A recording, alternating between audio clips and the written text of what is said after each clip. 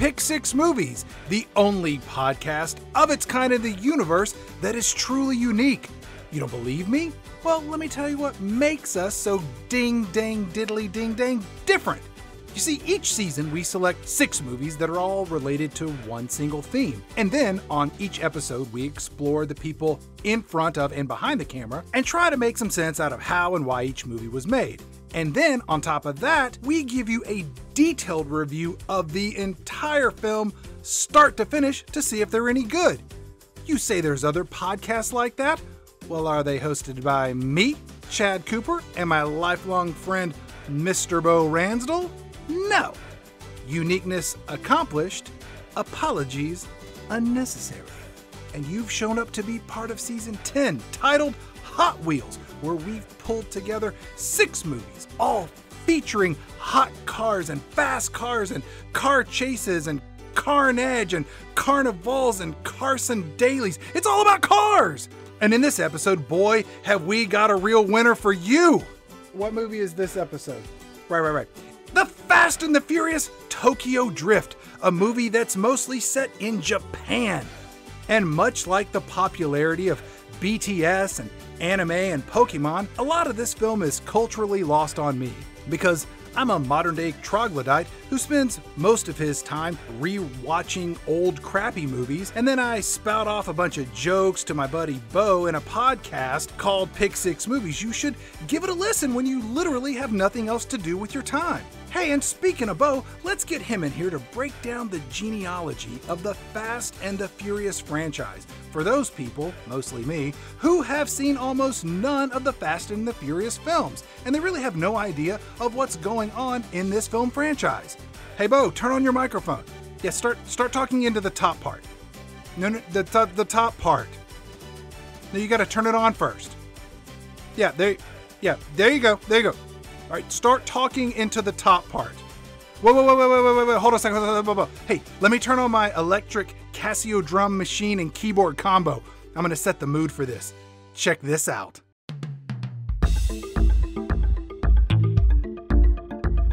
If you look at it a certain way, Tokyo Drift is kind of a science fiction movie. No, really. See, it was released in the year 2006, but is technically set, according to the lore of Fast and Furious movies, in 2013. There is lore in these movies, you ask? Oh, my sweet, lovely car nerds, there is lore.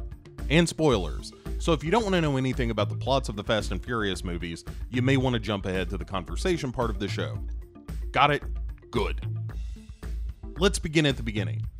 After all the heavens of creation stuff, there was a director named Rob Cohen. He is the director of such films as the Sylvester Stallone trapped in a collapsed tunnel movie, Daylight, and Dragon, the Bruce Lee story. He saw an article in Vibe magazine called Racer X, all about the underground street racing scene, and he naturally thought it would make a good movie. So he pitched it to producer Neal Moritz, who took it to Universal, and bada bing bada boom, you got yourself a racing picture. Paul Walker signed on to star, but Vin Diesel, thespian that he is, demanded some script changes before he signed on. In the first film, Paul Walker plays Brian O'Connor, a cop who is sent undercover to find a crew of thieves stealing electronics in audacious high speed heists. Vin Diesel plays the head of the crew doing the heists, though Paul Walker at first accuses someone else of it because he's not a very good cop. At the end of the movie, Paul Walker reveals himself to be a cop so he can save the lives of the crew, especially Vin Diesel, who I think he's in love with. And also, Paul Walker says he's in love with Vin Diesel's sister Mia. But anyway, Vin Diesel murders some people and Paul Walker lets him get away because see above regarding Shitty Cop. Which brings us to Too Fast, Too Furious. This time, directed by John Singleton, yes, Boyz n the Hood's John Singleton, this sequel was a no brainer after the financial success of the first movie. This time, Vin Diesel bowed out so he could do The Chronicles of Riddick instead. So Tyrese, aka Tyrese Gibson, steps in as Roman Pierce, a childhood friend of Paul Walker's. They, you guessed it, go undercover to take down Cole Hauser, who is a mobster or something. The ridiculous is amped up with ejection seats, and there's a rat and bucket torture made famous on this very show, only this time done to Uncle Bobby from Sons of Anarchy. Eva Longoria shows up as Monica Fuentes, who is, you guessed it, undercover.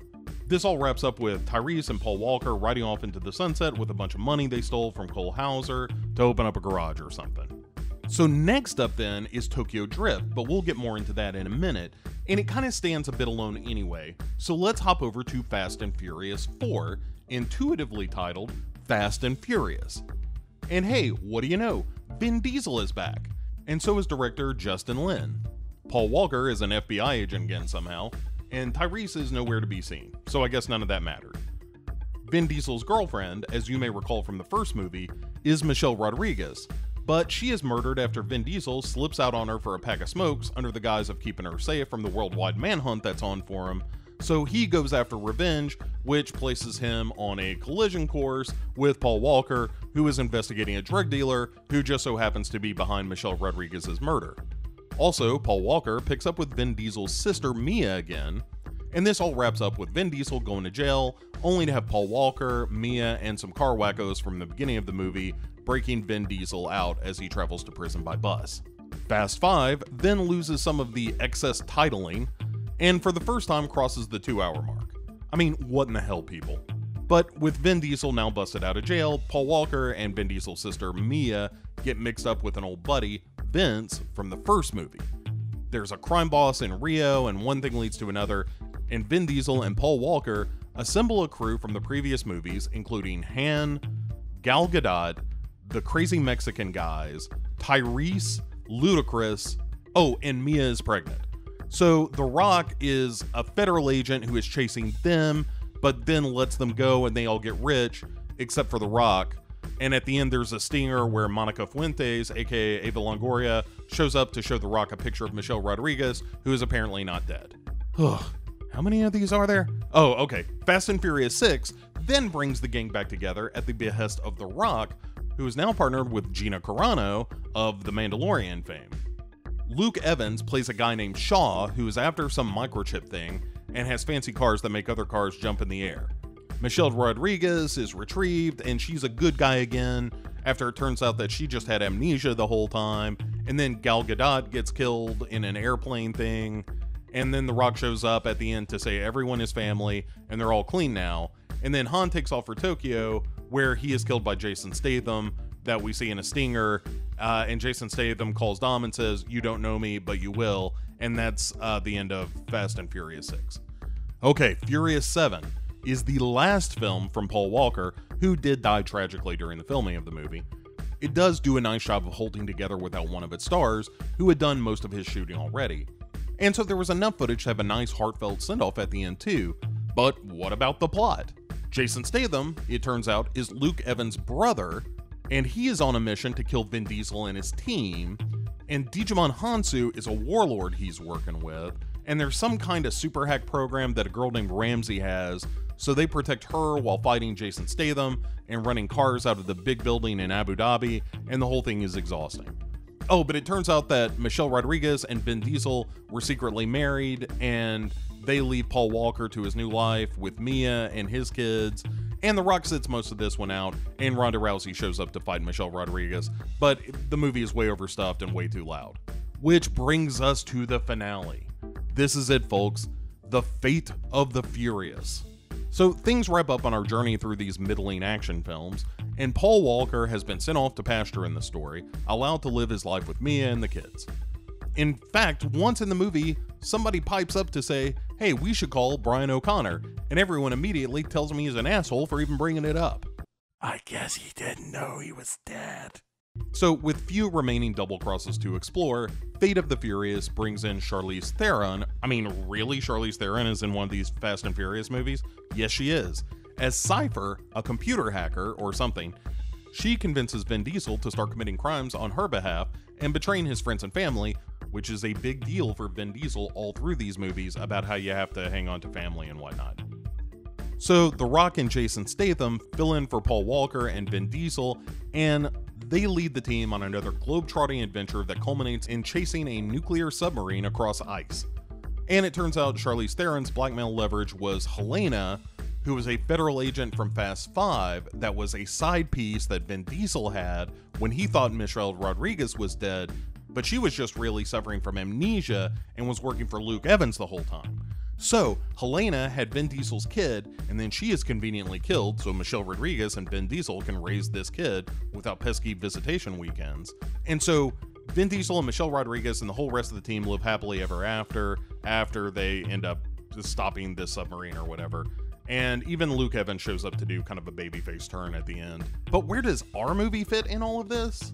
Well, technically, Fast and Furious Tokyo Drift takes place somewhat concurrently with Furious 7, making it a sequel to Fast and Furious 4 through 6, and sits along Furious 7 in the canon. Who knew a franchise about lunkheads and fast cars could be so complicated?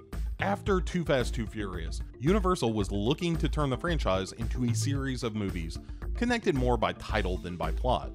With Vin Diesel being difficult about returning, it only made sense, so they started looking for new leads.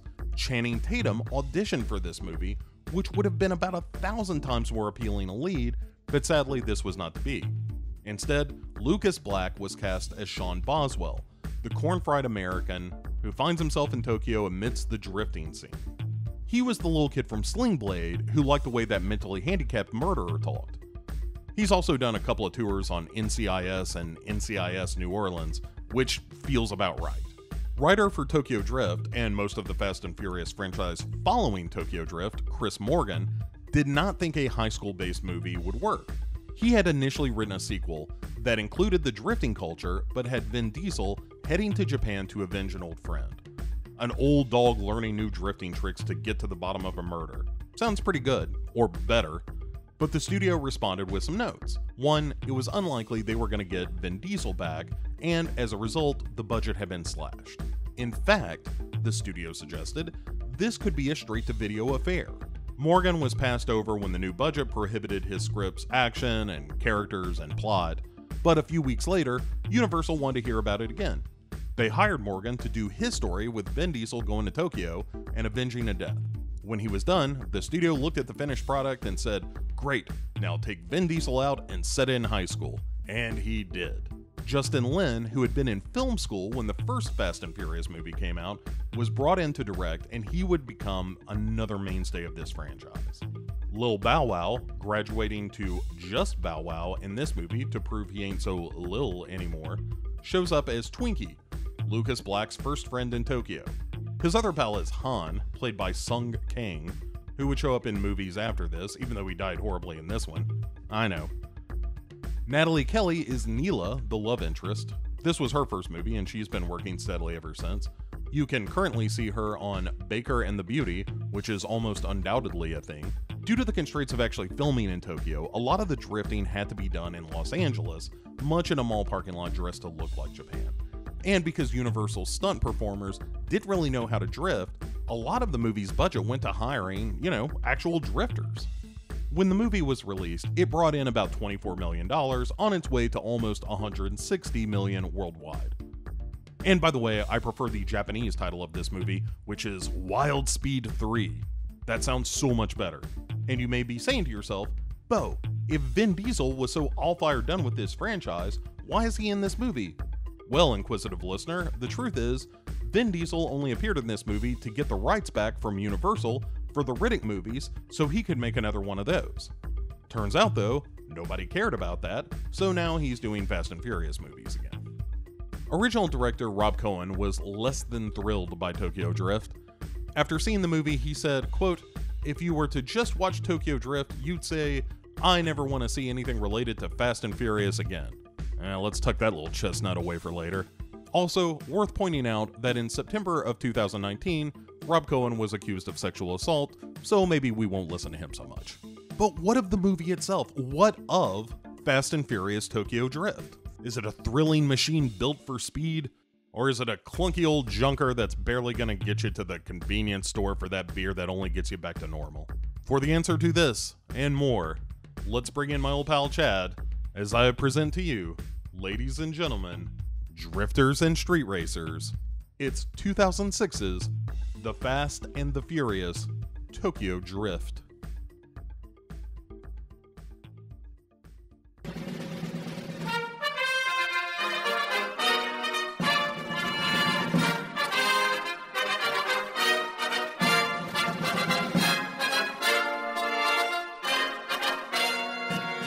Hey there, everybody. Welcome to episode two of season 10 of Pick Six Movies. I, of course, am uh, Bo Ransdell, the, the guy in the driver's seat for this particular episode. In my co pilot seat, no, it's not God. It's the next best thing. It's my old pal, Chad Cooper. How are you, sir?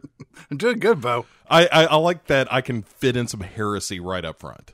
Sure. That that's my goal in all things. So we are uh we talked about the Cannonball Run. Yes. Which as we pointed out was in a weird way one of the uh, uh like origin movies for this show as a whole of like one of these days we are going to sit down and we're going to talk about Cannonball Run. And this however we never is- said that about this movie. yeah, this is probably as far from that as as we could go cuz neither of us are what you would call car people. No. I own a car. Well, we own cars and and we operate cars. I can put gas in one. I can honestly say, did I lose my virginity in a car? Perhaps. That's a story we probably shouldn't tell. Point being, neither of us, uh, at least for me, I've never purchased, say, a car magazine in my life. No, not for the sake of looking at cars or learning about cars. Right. If there happened to be a very sexy Latina girl on the cover, you might pick it up at the randy old age of 13. Right. You know, before there was the internet. Sure. In that, yes, I could see where you, you get yourself a custom truck magazine in that scenario. But no, we're talking about uh, one of the Fast and Furious movies, uh, Tokyo Drift. I felt like it was important to approach this with a, a seriousness, a level of, of, of study worthy of the Fast and Furious films. And so, as a result, while I was recovering from a minor surgery and on opioids, I watched all the Fast and Furious movies, which, if you're going to watch them, that's the way I'll take your word for that. but I feel like I can provide uh, context and an expertise that perhaps I, I could not uh, before. That's great because I have nothing to say about this entire series of films. I've seen this movie and I saw the one where they rob a bank. Yeah, that's the the fifth one where The Rock shows up in the in the franchise, mm-hmm. and that is widely considered like a turning point where the movies got ridiculous to the point that they were kind of fun. Right. I also, in my brain, see Jack Sparrow being involved in this bank robbery because in one of those fourth or fifth Pirates of the Caribbean movies, they also rob a bank and drag a giant vault down the streets. So in my head, these are the same film. That's not far off. Would would Vin Diesel be the Jack Sparrow of the No, Fast and I'm just saying I see Jack Sparrow and Vin Diesel and The Rock and Hulk Hogan is there and puppets. I have no idea. I don't remember things very well. But I remember them very entertainingly. to that end, let's get started. Um, so the, the Fast and the Furious Tokyo Drift, because they still had the articles "the" in the title at this point, Right. Um, begins with uh, really sort of the the guiding principle of these movies, which is a montage of our our hero question mark who in the movie is called uh, Sean Boswell. We will be referring to him as Sean Gump because he looks confused ninety percent of this movie. Yes, the other 10%, he's sleeping or blinking. it's blinking and confused. And, and we see him showing up to a typical day at his uh his American University. Right. Slash prison courtyard, slash cotton bowl tailgate VIP area, slash monthly flea market. right. It is a wash of people. He is being patted down on the other side of a metal detector along with the school mascot or just a weird guy that dresses up like a duck. Yes, but it's it's completely insane because all of these teenagers, they all just look like adults that are wandering around a high school. The mean, median, and mode ages of all these humans is 27, 28, and 26 respectively. Lucas Black, who is the the actor behind this, was 27 at the time he filmed this. What's hilarious, Chad, is if you again pay attention to the chronology of these movies as a serious student of film does, like myself, there is a scene where Lucas Black shows up in Furious 7 after uh, Han has been killed. And so Vin Diesel goes to Tokyo to talk to Lucas Black and to try to get information about Han's death. Because they retcon who killed Han and all kinds of shit. They could have just read the newspaper or watched a TV account. They just they were just trying to get Lucas Black to pop in for a cameo. But what's Okay. funny is that is supposed to happen, let's say a couple of weeks after Han's death, which would still put him around the age of 18 in this movie. But the actor playing this is now almost fucking 40 and looks every bit of it. So it's he's talking to Vin Diesel. He's like, "Hi, sir. Um, here's some information about Han. Also, I'd like to have a conversation about my IRAs." And he hasn't improved as an actor. I will say that. Like even in the short scene he's in with Vin Diesel, it's like, "What do you know about Han?" And he's like, "Well, you know, things just happened, I guess. It was all a blur. It was what you might call a Tokyo drift." Does he really say that? No, but he might as well. The writing is of that that caliber. All right, here's, here I have a question for you. Yes. So you really seem to be in the weeds on this Fast and the Furious, you know, overarching interconnected story. Am I the question I have for you, Bo, is in your house, do you have one of those beautiful mind walls where you have red strings connecting all of the characters to one another so that you can see the entire automotive opera that is the Fast and the Furious in front of you in one gigantic mosaic of nonsense? It started off that way, but I found with a little clever editing, I could summarize the entire plot of these eight movies mm-hmm. down to a single synopsis from an episode of Days of Our Lives. the amnesia, the secret babies, all of it. Also, in this montage, Chad, uncomfortably, a bunch of dudes are just beating the shit out of a Native American effigy. Mm-hmm. Well, they call it a pinata. I think effigy is much more apt. it's just like kill the Indians, and you're like, whoa, hang on, Tokyo Drift. What do you think was inside it? Because it look at first you're like, oh, it's candy, but then you're like, you know what? That's narcotics. Look at this place, man. There, it's edibles. This is a California high school. We get to see the head jock as he's beating up this paper mache Indian, and it's none other than Zachary Ty Bryan, the eldest son, Brad Taylor, of Tim the Toolman Taylor from ABC's own Home Improvement. Uh, you might recall uh, Tim the Toolman Taylor from season, huh, and episode, boom, uh, in which we did the Santa Claus. Did you ever watch Home Improvement back in the day? Uh, not as a rule, no. I mean, even at that point, I was kind of like, this is pretty stupid. I watched a lot of it, and I don't remember one single episode of that show. You know, here's what I remember about uh, Home Improvement more than anything, and it's from the documentary about the Dana Carvey, the failed Dana Carvey show. Mm-hmm. A documentary called Too Funny to Fail. I highly recommend to our listeners.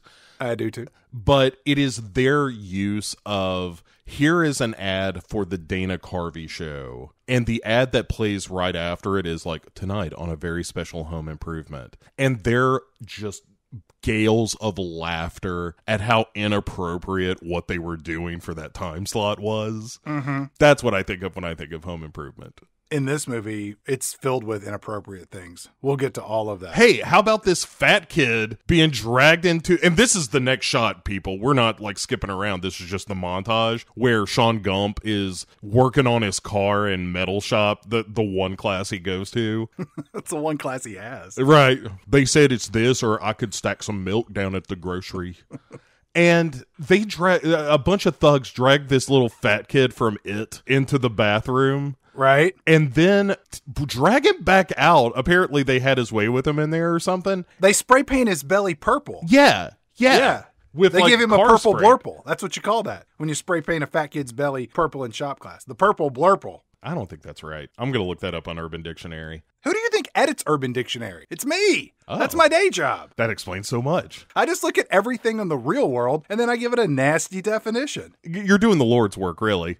We are then introduced to a character that you think might be important, which is the girl that uh, the kid from Home Improvement is dating. But there's this whole like she's sitting on his convertible, like doing her nails or some shit. She's sitting on the convertible of the home improvement asshole, not Sean Gump. Classic setup, Chad. Very Romeo and Juliet. As Sean Gump walks up, she's painting her nails and she crosses her legs and you can see her pink underwear. Yeah. You know who else wears pink panties? Who? Not Farrah Fawcett in the Cannonball Run. That's true. She doesn't wear panties at all.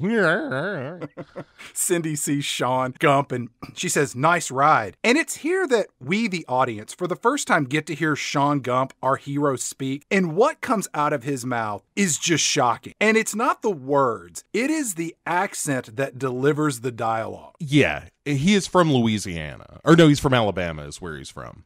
Oh, all right. Uh, the actor himself, because he uses the screen name Bama Boy later on. And it turns out that's accurate. But It was, was his real AOL IM name. uh huh, I like to go in the chat room sometimes and learn about people from other cultures. like from Texas and Arkansas. right. One time I talked to somebody all the way from New Hampshire.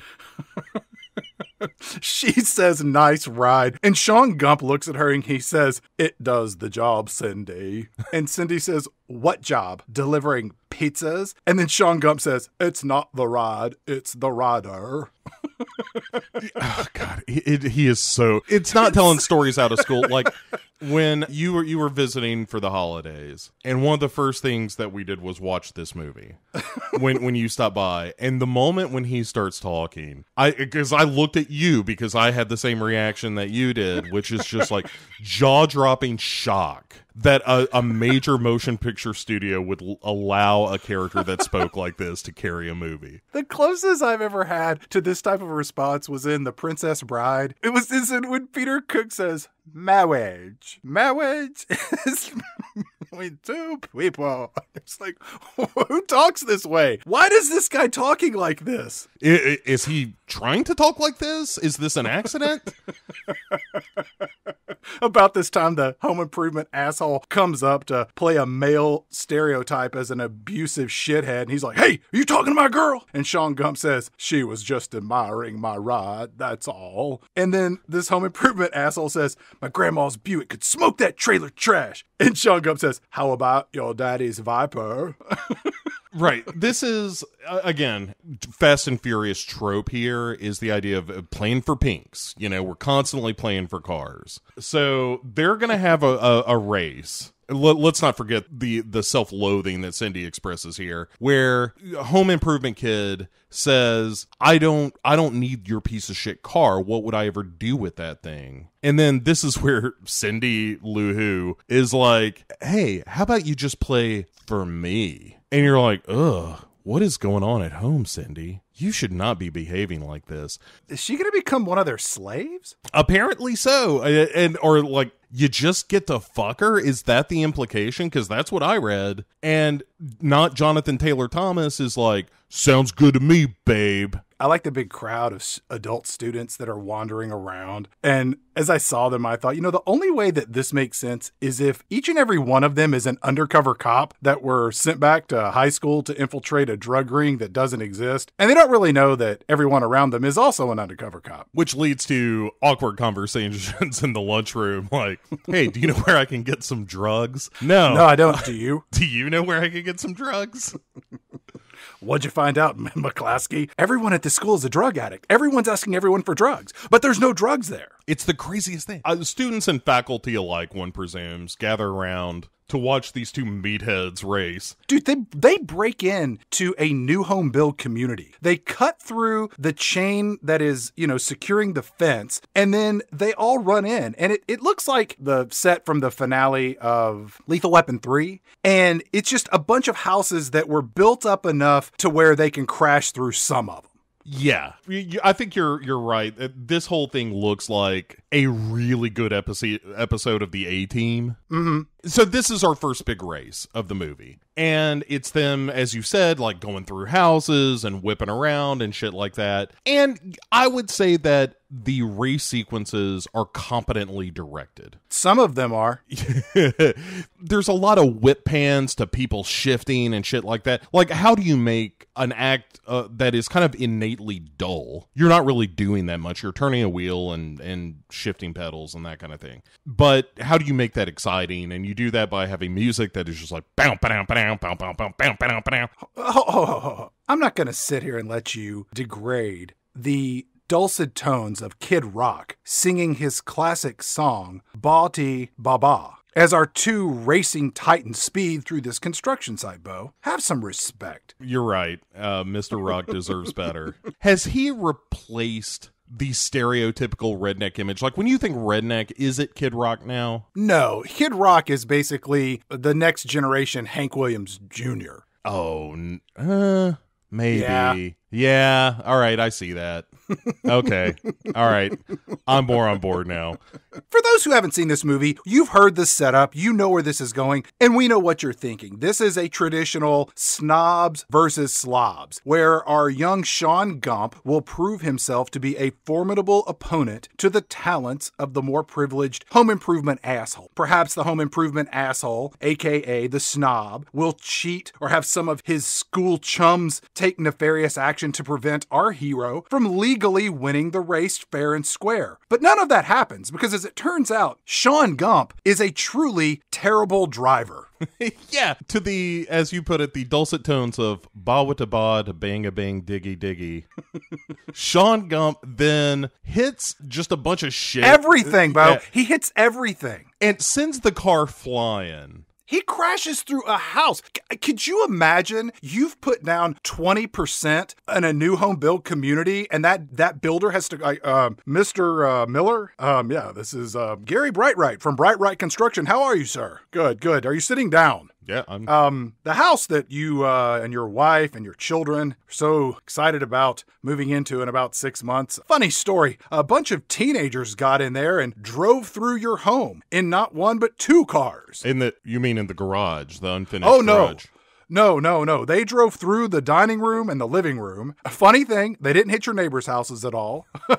Just yours. Bit like a tornado in that respect. Uh, really something, you know? Dude, they rip around, destroying this neighborhood. And I guess they're like, what, doing a one loop? And it's the asshole home improvement kid. And in his car is the prize, Cindy. And then our hero, uh, Sean Gump, is racing around as they're going back and forth. Sean Gump, he's the one who takes a shortcut because he keeps crashing into everything. That's something the snob should do. And then this shortcut ends with him crashing through homes and he ends up smashing into home improvement asshole's car, which pushes them into a like giant cement sewer pipe Yeah. that would kill most non-movie people. To be honest, this is among the tamer examples of, oh, this would kill a normal person. I mean, by the time The Rock shows up, people are jumping out of fucking sky rises and whatnot. It's. I haven't seen those movies. I'm watching this one with Sean Gump, and at the end of this, he flips his car and it rolls over like a burrito like six or seven times. As he's flipping around, um, it kind of goes into slow motion, and you can see all the trash from inside of his car gently floating through the air, and you see a bottle of Tabasco sauce float by. Did you see that? Oh, I don't know, Chad. Was uh, it's hard to see with all the Pepsi cans and KFC and shit that we'll get to in this movie. Yeah. Th- oh man, this movie wants all your money.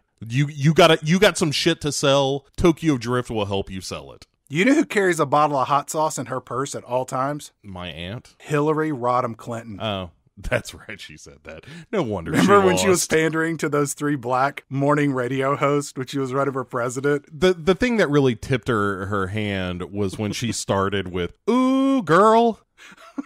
You know I have that hot sauce in my purse. Is that I right? like how they went to commercial when she looked at them and she said, Guess what my favorite fruit is? And they're like, We'll be right back. wise. That was wise. Who likes poultry? And we're going to go to another commercial. Maybe my favorite thing in this whole movie happens next, where we see Sean Gump and the the meathead from Home Improvement and and Cindy the girlfriend all sitting in the waiting room of uh the police station. You're thinking it's a hospital, Right. I'm like, all of them should be on life support. they're all bruised and bloody but th- this is the the thing that i think is best in the whole movie where cindy looks over at sean gump and he gives her a smile and wink but his teeth are all covered with blood and he just looks like shit also he's not talking They all look like extras in a Rob Zombie movie.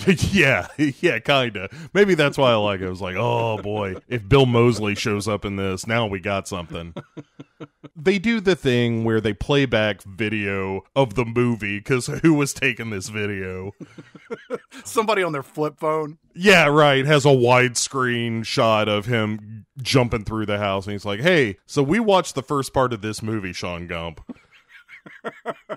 And we saw you drive right the fuck through this house. What do you have to say for yourself? And he's like, I'd really like a copy of that tape if you don't mind. The, the cop says to him, You're done, Sean Gump. You're done. He's like, You know what? All before your 18th birthday. So at this point, Sean Gump's mother comes in um, because the rich kids got off scot free because they're rich kids. Mama Gump is played by Shannon Sarandon, sister and stunt double to Susan Sarandon. yeah, she could also be Sarah Moore, stand in for Julianne Moore. sure. Squint your eyes and she's all of them. And she's dressed like Peggy Bundy. Yeah and she just comes in and she's like, "Oh, well, what happened to my boy?" And he's like, "Look, he's an asshole. I mean, look, you look like an asshole too." Because she immediately starts smoking in the police station, which is always a good move. The only way you can get away with that is if you are also going to uncross your legs and show your pussy. Oh my god, does that work for you? It's worked at least twice. the cop says he's lucky if he doesn't get tried as an adult, meaning that he's clearly an adult, and he'll be lucky if the judge is stupid enough to think he's under the age of 40 and clearly mentally disabled. Sean Gump got a, a fake ID to prove he was underage. I don't like the taste of alcohol, so I just try to take it off the table entirely. Mama Gump says, This is our third town in two years. And then Mama Gump looks at the officer and says, Officer, there's got to be another way. And then we cut to Mama Gump and the cop, and uh, they're fucking in the bedroom while Sean Gump sits outside listening. Wait, that's another movie. No, wait, it isn't, because in this movie, the cop comes out of an interrogation room followed by Mama Gump, and then Sean Gump, I guess, is off the hook. There you go. He just goes, uh, uh, uh. Your mama sure does love you. Yeah, you're going to Tokyo, boy. and and so that's what happens. They work it out so that they they're like, if you can somehow get him out of this fucking country, we'll consider dropping the charges. Oh my god! And she's like, I got I got just the plan. So she's gonna send her kid to go live with her uh, his father in Tokyo. Bo, he can't speak English let alone Japanese. She's not trying to set him up for success here. Th- this is two birds with one stone for her because she clearly has a lifestyle that involves a lot of drinking and smoking. Right. And he probably interferes with that, much like he interferes dad? with his father's plans for much the same. of drinking and smoking and indiscriminately fucking people. Yeah. Oh my god, man. He, his father is so good. Anyway, we get uh, yet another montage as he arrives in Tokyo, where we get uh, ads for KFC and McDonald's, and we're seeing the big bright lights of of Tokyo and all the the neon advertising and so forth. Sean Gump shows up and has a guitar strapped to his back. Does he ever play it? No. Yeah. I think this was all a bunch of guerrilla filmmaking, like they did in that Jackass movie. You know where Johnny Knoxville and Wee Man put on those panda costumes and dry hump those people that were just making their way through downtown whatever city. Show up at this drunk's house and say you're his son. That's what happens. It's not even a house, dude. It's a storage unit slash apartment. Like again, this is very Japan. Japan has limited space and you know a shit ton of people, and so all the houses are real compact. Yeah, Sean Gump shows up at this teeny tiny little box of a place to sleep, and he buzzes the doorbell, and uh, Papa Gump shows up, and he was like like, hey, I thought you were going to be here on the 7th. And then Sean Gump says, oh, today is the 7th. And I don't know where this movie starts off. Like, is it Los Angeles? Are we in Birmingham? Bug tussle? For the sake of math, let's say we're in Southern California. Yeah. And we're looking at a 17 hour difference between there and Tokyo. And when, if Sean Gump leaves on the 6th, he would arrive on the 7th. So maybe he's right and today is the 7th. But more likely, Sean Gump left on the 7th and now it's the 8th, hence his father's confusion. However, if I lived in Tokyo and my son was coming to visit and he didn't show up on the expected date, you know what I'd do? I'd call Mama Gump to find out where my son is and get more details on when to expect him. You know what I wouldn't do, Bo? I wouldn't hire a Tokyo prostitute to come over and have sex with me while my son is lost in the labyrinth of international airports around the world. But that's what Papa Gump does. Yeah, you you and he lead very different lives. Uh, yeah, no, he just decides to have a few, get it wet, and then when when Sean Gump shows up on his doorstep, he like you say, he's like, "Huh, yeah, we're a day ahead. I guess I just forgot or something." Anyway, come on in. He says to the prostitute as she leaves, "Domo arigato." that means thank you very much for your vagina. oh, it's it's not the first whore this guy's had sex with in his lifetime. Oh, of course not. It's not the first whore he's had sex with this week. but I've only known one person who's ever paid a prostitute for sex. I, th- I I think that's right. I'm I'm trying to think if I knew anyone else, but I know the one person you know. Yeah, he had sex with a lot of different whores. Yes, He had sex with a prostitute in the shed outside his parents' house. That's crazy. He had sex with a whore at a massage parlor and was so drunk and couldn't finish that he had a designated driver who was waiting outside for him and take him to another massage parlor where he finished up having sex with a different prostitute. Wow. Yeah. I mean, I, I guess it just goes to show you you know you you're into what you're into, I guess. and the the know. first massage parlor just wasn't cutting it. He got his first blowjob from a prostitute when he was 16, and he came and told me about it. And I, my mind was blown. I'd never heard of anything like this in my life. And then he went back up two weeks later to get another blowjob. And it turns out that the first person who gave him a blowjob, who was a black woman, um, he wanted to get a blowjob from a white lady, and she wanted twice as much money. And then the white lady told him that the black lady wasn't a lady, but was actually a man. And he confronted the black lady and realized it was a man. And he didn't do anything violent. He just drove away in shame and came and told me that story. He told me never to tell anybody, but I've told that story literally hundreds of times. It was one of the greatest things I'd ever heard in my life. It's a hard story not to tell.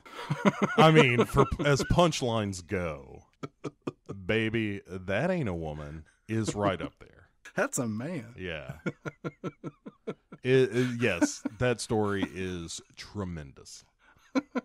I don't know. In today's enlightened age, would it be so bad? I don't know. Yeah, you know what? Yes, yes, it would. Maybe not. Eh. I don't know. Let's get back to Papa Gump having sex with his own prostitute. Oh, Um, right. Off the prostitute goes to deal with her bad life decisions, and uh, uh, Papa Gump tells Sean Gump, "Hey, come into inside my storage unit, and uh, we can kind of deal with my own personal bad life decisions." And once inside, Papa Gump offers his son Sean Gump a place to sleep, which is this tiny cot in this even tinier closet. And these accommodations are worse than what Harry Potter had when he was under those stairs. Right. Well, at least Harry Potter didn't have a window that looked out an alley, and by alley I mean eight inches across the the opening to a weird noodle lady. Yeah, she's eating that lo mein. Yeah, she's going after it, like watching some crazy Japanese game show, and she couldn't be happier to see Lucas Black when he shows up in in the window.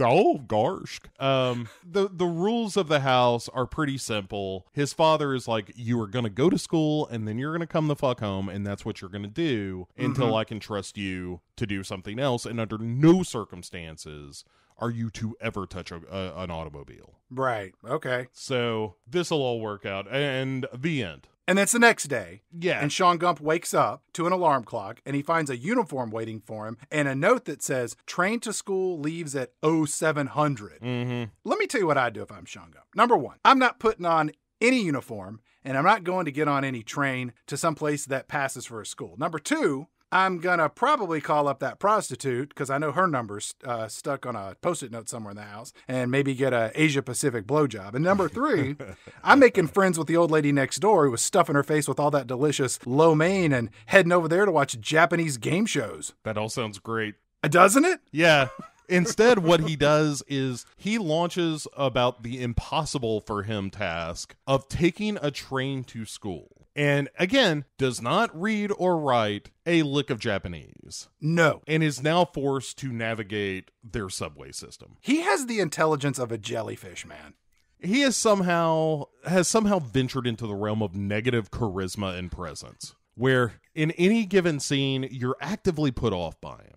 he shows up at this school and his teacher is speaking Japanese because we're in Japan. And Sean Gump says, I'm new here. My name is Sean, Sean Gump. And this lady's just prattling off in her native tongue and he just looks terribly confused. And as this teacher is chattering away at him, Sean Gump somehow figures out because she's pointing and pushing him out of the classroom that he has to swap out his shoes. But none of this is really explained to him or us, the audience. Right. He just says wabaki a bunch and then shows up with new shoes or slippers. I don't think he realizes that he's in Japan. I think that he is in a tight knit community right outside San Francisco. Right. He's getting villaged. Everybody talks so different here. I think they're doing it on purpose. He thinks he's in Star Wars or something. Yeah, th- this is the Mos Eisley Cantina for him. Everybody looks so different and they talk in a different language. I think I might be on another planet. Sean Gump goes down to the cafeteria to eat what is comparatively unusual food. And here we get to meet Twinkie, who is a young man played by Shad Moss, aka Lil Bow Wow. You mentioned him in the intro. I remember him from the non Bugs Bunny Michael Jordan movie Like Mike. Some of you may remember him from Scary Movie 5 or Madea's Big Happy Family, or more than likely, you don't remember him from any of these things. Or as a sort of rapper for a while. Uh, you know, not impressive. But anyway, he has little Bow Wow. He sits down at the cafeteria table and he says, um, Yo, Japanese cafeteria food is like the army. Don't ask, don't tell. And Sean Gump looks at him and has no idea what any of these words mean. I recognize that you are a person who has said something. Could you repeat that maybe slower? He's just jamming his mouth full of sushi and whatever else is in this bento box of surprises. Like he's Jethro Bodine. He's just. Well, as the, the old saying goes, he can't eat and comprehend at the same time. Lil Bow Wow says, I see you ain't got no laptop. I'll hook you up half price. And Sean Gump is so confused by all of these words. It's like, I think he's just in shock of maybe seeing the only black person in this school on his very first day there. Because there were none in the school he was in previously. No, if they ran them off. If you're a black guy and you go in and there's first giant metal detectors, then you walk in and you see a bunch of white guys beating a Native American effigy and screaming and laughing about it, dude, I'm turning on my heels and I'm getting the hell out of there. Right. You found yourself at Trump University, is where you got yourself. I'm majoring in wall building. Sean Gump says, uh, no, man, uh, I'm cool. I don't think I need one of those uh, computers, as you called it. And then Lil Bow Wow says, oh, seeing as you're an Army brat, I'll give you 60% off. And Sean Gump says, hey, I'm not in the Army and I don't have any money. And then Lil Bow Wow offers him a cell phone. And you're like, oh, okay, so this guy's a hustler. He just Yes. sells a bunch of stuff. He's like Red and Shawshank, only less important to the movie structure. The protagonist character arc. He's incidental to the narration of the film, and he's basically non-essential to anything that happens in the movie. So he's nothing like Red in Yeah. Shawshank. I'm a man who is known to get things once in a while, but nothing of importance, nothing of value. Um, he's like, Hey, you got a car? And he's like, Yeah, I got a car. So they go to the parking garage. And there's sort of a Ferris wheel scenario where you like you, you put your ticket in a slot and it wheels your car around. Again, everything is lack of space in Japan, so how do you stack shit? And it turns out that what Bow Wow's vehicle of choice is is a green Touran. That's a minivan, Bo. Yeah, kind of decked out. It's a decked out minivan. That's what Lil Bow Wow drives. Right, but A green minivan. But it looks like the Hulk. It looks like the Hulk was inside it and tried to get out because there's a giant footprint mashing out from the inside on the back door, you know, the one that you open to put in soccer balls and groceries and that sort of thing. Yeah. And then on the side of the doors are fist punches from the Hulk, and there's Hulk eyebrows on the front and a Hulk face painted on the, the hood. Yeah. The only way I think this works is if you call your junk the Hulk. You're talking about his, he calls his dick the Hulk? Yeah. Good God. Right? Uh, because it's big and green? Like, dude, you need to see a doctor. No, because it's powerful and try to get out of his car like that. I don't. I'm stretching, man. There's just so little to hang on to in this movie. Nothing makes any sense. I think it turns out that the director of the movie was a big fan of the old TV show The Hulk, and there was an agreement with Universal to do a bit of a tie in there to make the Hulk front and center before we moved into an era where you could make, you know, real deal Hulk and superhero movies. So Yeah, maybe. So. Anyway, uh, first of all, holy shit, Chad! The sheer presumption of Sean Gump in this scene because they get like they back the Hulk van out of the slot, and immediately uh, Sean Gump is like, "I'm driving." Your car, I know it's your car and all, but I'm just gonna take your keys now because I'm white. bullshit. It- Dude, I don't like people driving my car. And I don't Right. give a shit about my car. But th- that's exactly what happens. And Bow Wow is just like, cool, man. It's like, no. For- like, why would this guy who has known Sean Gump for all of 12 minutes be like, please take my car and drive it around in one of the busiest cities in the world and see how you do? These two idiots make their way over to this multi tier parking garage where there are all of these souped up fancy street racing cars, and it's filled with a bunch of gearheads and a bunch of anime cosplay aficionados. All the women in this place look like they're on their way to the audition for the live action Sailor Moon movie. There's a point where Bow Wow even hands Sean Gump a box of tissues and is like, for when you blow your load, man. And you're like, ugh. if I met somebody and I'm in their car and he has a box of tissues and he tells me that those are for when you ejaculate, I'm never talking to that guy again. I'm not touching him. Like he's dead to me. Man, we went to high school with a dude who was he was ahead of us. But he got busted jerking off in parked in a Kroger's parking lot and he was ruined forever. like that became the one thing everyone knew about him. Yeah, you get something like that. If people know that you drive around in your car and masturbate, um, I mean that's you're that guy forever. Yes. Yeah, you are the guy who jerks off in his car a hundred percent. And speaking of, Neela shows up, who is uh we we saw her briefly in the classroom scene, just laughing at Sean Gump appropriately. right. And she pulls up in a car of her own, and Sean Gump then approaches her to take a look at her car. Seats taken. So he goes over and just proceeds to say the dumbest shit Mhm. possible, where he's just like, So, y'all race with these? These are cute little toys and all. Am I minimizing your culture enough? Do I seem smarter now by diminishing you? And she's like, Hey, listen, asshole. First of all, you don't know what the fuck shoes are in this country. So back off. And he's like, You mean Wabaki? And she's like, Yeah, that's what I mean. and then she ironically says, You're a quick learner. And he's like, Thank you. He asks her, Where are you from? And she says, Here. And then Sean Gump says, No, not where you live. Where did you come from? And I was thinking he might be asking how babies are. No, I mean, I've been asking my father and my mother, but they are too drunk to respond.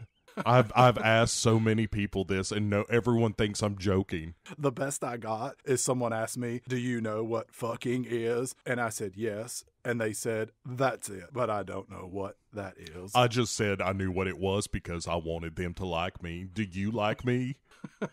Would you like to fuck? Wait, where are you going? Oh, stupid, stupid Sean. I keep telling myself, don't t- ask people that when you first meet them. I don't know why, but they don't like it. we cut across this nightclub parking lot garage. And here we meet two new characters, DK and Han. Bo, Right. how would you describe these two characters to people that should never see this movie? All right, so DK has oily hair and is in a leather jacket, and he's kind of the low level Yakuza dude in this movie. He's our bad guy. He's our bad guy. And then Han is much more easy breezy. He's got a little cowboy bebop in him. Mm, and- he's Asian Brad Pitt. Yeah, he's real. He's all smiles. He's real charming, and which is the reason like everybody in this movie got left behind except for Han, who went on to star in other movies in this franchise. They, the one character that they killed is the one character that comes Yeah. back. That that's kind of why I love how dumb this franchise's lore is. it's like if you brought Quint back for a Jaws sequel. I mean, we'll get to it, but like at the scene where Han is killed, they changed that twice know, over the course of the franchise. It's Wait, what? beautiful. Yeah, so in this movie, you know, Han is ultimately killed by the machination. Fire and explosions? Yeah, but DK is the one behind it. In, What? in the later movies, that changes two times who is behind Han's death. It's just a car that runs into him. So they paid someone to run into him? Yes. And anyway, ultimately, what you need to know is ultimately Jason Statham killed Han. I, I'm never going to watch any of these, but that's okay. DK thinks that Neela is his girlfriend. It's a real Karate Kid situation where she's like, "We're not really together," and he's like, "Whatever, babe, you're my girl." And Han is like, you know, he's just playing it cool. He's hanging back, watching to Dude, see he's how got things two work out. fly honeys on each arm, and he's got three more waiting in the wings. Yeah, Han is the the player of this movie and does really dumb shit, as we will see. When Sean Gump is talking with Neela, DK sees this and he doesn't like because you said, you know, he feels like that they're a couple. And so DK is making his way over to beat Sean Gump's ass, and Lil Bow Wow sees this, so he scampers over to intervene. DK approaches Sean Gump and he puts his arm around Neela, and then DK speaks to Sean Gump in Japanese because that's where our movie is set. And Sean Gump looks at him and he says, I'm sorry, I don't speak Japanese. And then DK calls him Gaijin, which just means foreigner. I'm sure there's a little additional. I, I think the connotation, yeah, I mean, the direct translation is just foreigner, but I think it's meant to be derogatory. Fair enough, but Sean Gump doesn't take it that way. He's just like, Gaijin, what does that mean exactly? And DK tells Sean Gump, he says, Why don't you turn around and keep walking? And he's speaking in English, you know, for the audience and, and obviously for Sean Gump. And then Sean Gump says, That's funny because I thought this was like a free country where a girl could talk to whoever she wants. And I'm like, Look, this is not a case of individual or nationalistic freedom. This is a case of interpersonal relationships. And there is zero chance that Sean Gump has any idea that Japan is a free country or not. He's just, again, assuming that he might be in the United States still. Yeah, he thinks he's in Chinatown. DK says, You know who I am, boy? And again, he's speaking English. And Sean Gump says, Yeah, you're the Justin Timberlake of Japan. And I was like, Is that an insult? Justin Timberlake is a quintuplet threat. Yeah. He sings, he dances, he acts, he does comedy. He's an entrepreneur, writer, director, producer. That's a compliment, Bo. If somebody called me the Justin Timberlake of anything, I'd be over the moon. Right. It means that you do everything better than just about everyone else. Yeah. If you're the Justin Timberlake of baking, you do wedding cakes, donuts, those crazy fondant Halloween cakes, biscuits, edible weed cookies, sexy dick shaped cakes. You do it all. If I were the Justin Timberlake of edible weed cookies, I'm trying to imagine what that would look like, and all I can come up with is heaven. In the background of this East meets West standoff, we see Han, and Han's constantly popping food in his mouth. He does this throughout the entire film, and we've discussed on this show before, uh, sort of the the the trope of having a character casually tossing food into their mouth as a juxtaposition against more tense foreground circumstances. And I would like to see more characters casually eating while watching very intense situations in other movies as they find entertainment, um, while others deal with stress and conflict. Like, I'd like to see a child eating cereal while parents scream about an impending divorce. Yes. I would like to see someone on the beach snacking on popcorn while a lifeguard performs life saving CPR. Uh huh. I want to see a cop eating raisins while another cop defuses a bomb. I want to see someone eat cashews during a hostage negotiation. I want to see someone popping jelly beans in their mouth one at a time during a federal execution. I want to see someone snacking on animal crackers while removing a loved one from life support. I find all of that to be potential delightful juxtaposition. I was thinking of trying to sneak in like a really messy candy apple, but that seems like you you take away the casual nature of the snack there. Han stands up and says, Hey, let's ride. And DK walks off. But before Sean Gump says, Good luck, Timberlake. And I'm thinking, does this lunkhead think he's referring to him as Justin Bieber and not Justin Timberlake? That would make sense for the character, although there is no way to telegraph that to the audience other than just to be like, he is really stupid. I mean, he doesn't do anything smart in this movie ever. So, yeah, I, but it, it feels very on brand for Sean Gump. DK comes back and says, Let's have a race. And Sean Gump says, Yeah, let's race, me and you. But there's a problem. Sean Gump has no car. And it's here that Han just tosses a pair of keys over to Sean Gump and says, He can race my car. Let's see what he's got. Now, Bo, in a better movie, mm-hmm. we would see a race where our young upstart, Sean Gump, would race against the more experienced DK and he would lose. But during the race, we, the audience, would see some signs of him being a good driver if only he had someone to take him under his wing and train him. Yes. That is not what happens in our movie. No. So they first of all they take an elevator up or down. It's hard to tell. It's got to be down Yeah, I guess so. because they race up. uh to to get to the ground floor of, of, of floor of this place so they can race. And while uh they're in the elevator, Sean Gump is like, "Hey, why did they call him DK?" And Bow Wow says, It's uh it's for Drift King. I thought it was for Donkey Kong. That's a joke. You know what? It's not a joke. I think he he literally thinks that DK stands for Donkey Kong. I thought he was really good at it and could get past the stage with the girders. You mean the first one, Sean Gump? Wait, there's a different stage past that one? I watched The King of Kong and I thought it was all fiction. But it's Drift King uh, is what DK stands for. And then Sean Gump says, What's a drifting? Have you ever played Mario Kart, you simpleton? Even at this time. you know, in a pre Tokyo Drift world. But yeah, have you ever played a racing game ever? And he's into cars. Yeah, yeah. I only drive cars one direction, not sideways. so they they get to the, the bottom of the elevator and they come out and he sees an example of drifting uh, as two cars drift by and Bow Wow is like, "Hey, do you still need a dictionary?" What is a dictionary? Is that how you drift? If it'll help me drift, yes. Anyway, so Bow Wow takes him to his car and is like, "Here's just kind of ride the emergency brake. That's what you need to know." And he's like, "All right, I, I think I got it." He doesn't. no, no, no, no. We see Sean Gump watching Neela and DK a little bit, being a little flirty. Han, of course, still snacking, smile on his face. And now we are off to the races. As you pointed out, it doesn't go so well for Sean Gump. It is as though Sean Gump has never driven a car before in his life. Yeah, it's a lot of just running into barricades and walls and shit. It's a it's a real mess.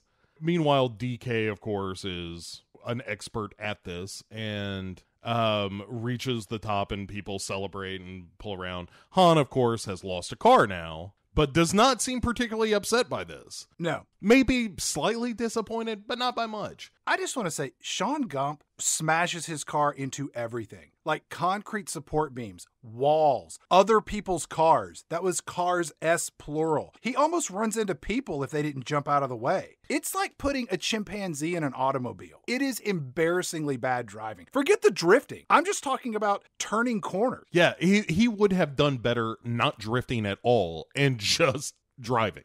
Sean, though, does bring the car all the way to the finish line, albeit totally busted up. The only way this would be more embarrassing, Bo, is if when he got to the top, he was masturbating and he had that hanging over his head as well. right.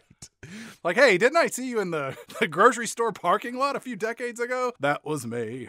Now I'm not going to be known as the guy who masturbates in grocery store parking lots. I'm going to be the guy who masturbates in souped up street racers. That's better, right? Wherever I was going, I was masturbating. Terrible.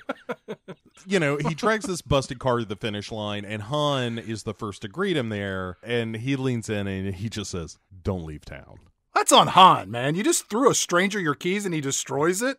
That's you, dude. Look, I I'm pro Han in this movie. I like the fact that he's just like, I'm gonna fuck with this kid and say some menacing shit. Meanwhile, I'm totally on board. Right. And when you say kid, you mean 36 year old guy who has really failed to plan for his financial future. Right. Right. And so Sean Gump goes home, and who should be waiting for him, drunk, but Papa Gump. And he's like, "Hey, do you know? Do you know what time it is?" You smell like burning tire rubber and crushed metal. You've been racing? You're out of here. You got nowhere else to go except jail. Also, it looks like you've been looking at cosplay girls. I can tell because I ordered one earlier. Papa Gump says, You live under my storage shed roof rules. You live by my storage shed roof rules. No racing. You can only piss in the bucket. Don't poop in that bucket. And you hang a sock outside if you are going to have a prostitute in here. I think that became my Christian Grey. it kind of did. Yeah. It evolved. But in a in a weird way, isn't that what he's doing? Without any money, power, or real direction in his life, sure. It is the low rent Christian Grey of Tokyo. hey, maybe maybe you like to be tied up and smacked in the ass and stuff. How about that? I've got more money.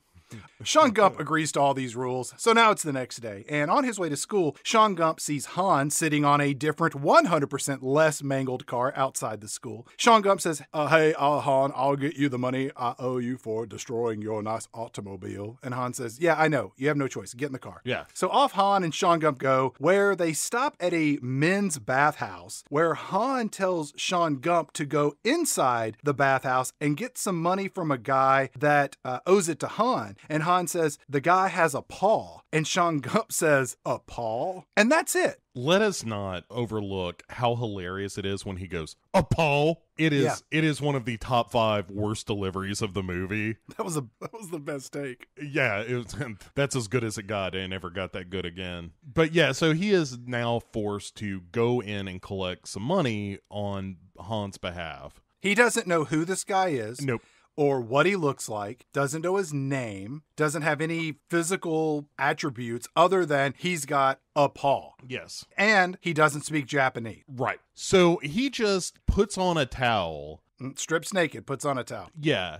And goes marching into this bathroom, Mhm. whereupon he sees a rather large gentleman uh, of a sumo wrestler variety Fatter than a sumo wrestler. with a giant bear on his back, Gotta be your guy. notably a paw on his shoulder. Yeah, it's a big bear Yes. tattoo. Yes. We gotta talk about this guy's nipples. Sean Gump's nipples. Yeah. He's got a really hairy chest, but his nipples are 100% hair free. It looks like they've been shaved so that the nipples are exposed, and they're really bright red and slightly oversized. Yes. You can't not notice them. It's an odd nipple arrangement. Well, then we get another set of nipples when the fat guy stands up and he's got these giant, undulating, pendulous breasts. The camera just pauses on him. It feels like some sort of early 80s spring break movie where it's just boobies in a movie, but in this case, it's just male flesh and nipple. Makes you forget about Sean Gump's pepperonis a little earlier. Yeah, I expect to see that guy come waltzing out of Papa Gump's place later in the movie. Special order.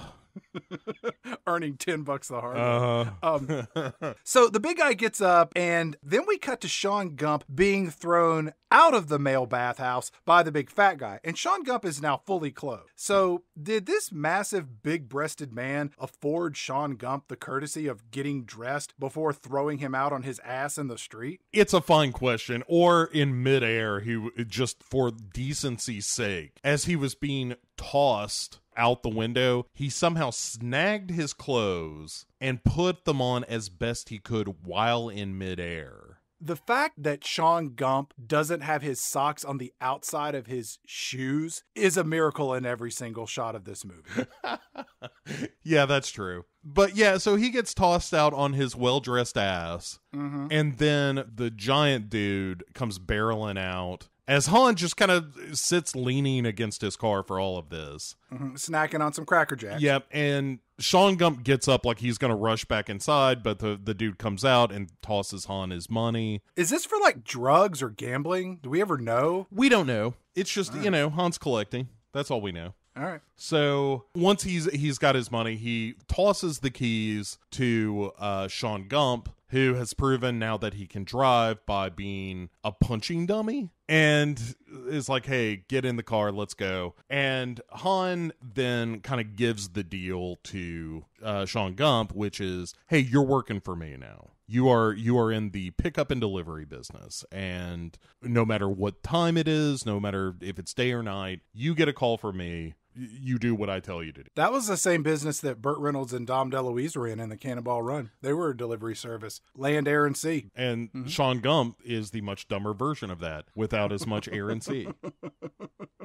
once he kind of lays down what sean gump's new career is going to be he takes him to visit dk and his stooges at the back of some store Mm-hmm. and it, it's a back room where they're all playing like mahjong or something. This is where like DK gets another round with Sean Gump, and Han's like, "Hey, you know, he's paying me back for destroying that car. Don't sweat it. Uh, he's good." And DK's like, "Yeah, I hope he's not driving. He's an asshole." And then another one of DK's dudes calls him a gaijin as well. This is where Lucas Black or uh, Sean Gump is like, "Well, there's only one way to settle this, and that's in a race. I can race." And they're like, "Look, you dumbass, you just did this terribly. Are you saying you want to you want to race me?" So Han then puts up the what the uh, 72 skyline he says as bait for this and Han's like, "Yeah, I'll uh, you know, I'll back my boy here." His boy being Sean Gump, you know, we'll settle it on on the streets of Tokyo like men. Mm-hmm. Then there's a bit of business on the back end of this where DK is like, hey, Han, your shipment's late. When is the shipment coming in? Han, when is the shipment coming in? Han's like, it's cool, baby. Don't worry about it. And immediately you're like, oh, well, this is just going to get him murdered. Like th- that's who this character is. He is the likable guy that's going to get Sean Gump into this world only to be killed for being a little too casual about things like when the shipment's coming in. Yeah, and they dismiss Sean Gump. They're like, "Hey, you need to go outside. We got some business to talk about." And Sean Gump goes over to a payphone and makes a call to his dad. And he calls him up and he's like, "Hey, Dad, it's me, your son, Sean, Sean Gump. I had to stay late at school for extracurricular activities like running and ping pong and shrimping, and that's all I have to say about that. Goodbye, Dad. It's me, Sean Gump, your son." You know, yeah, God.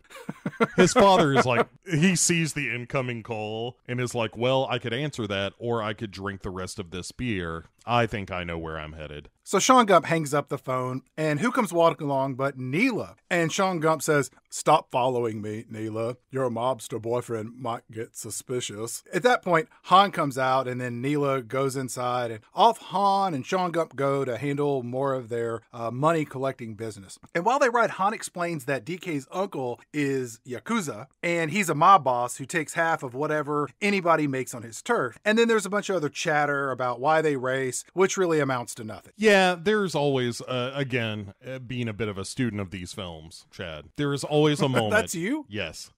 Oh, You're the one. Where th- somebody philosophizes about the beauty of racing or how, you know, just everything goes away and it's just me and that quarter mile, you know? That's a real Vin Diesel thing. You're living life a quarter mile at a time. But uh, Han also kind of reveals here, like, the reason I'm kind of keeping you around one dk hates you and that's kind of good for me also uh you you still owe me for that car Right. and we also get a little tidbit here where they run past some cops after Sean Gump hits some some nitrous. You know, I want to go really fast. Han tells them like, "Hey, if you're going more than 180 kilometers an hour, as Doc Brown made famous, then mm-hmm. you they won't even try to chase you because they're factory issue cars and they can't keep up with you." Sean Gump is like, "I think I'm beginning to like this place." And you're like, "Oh god."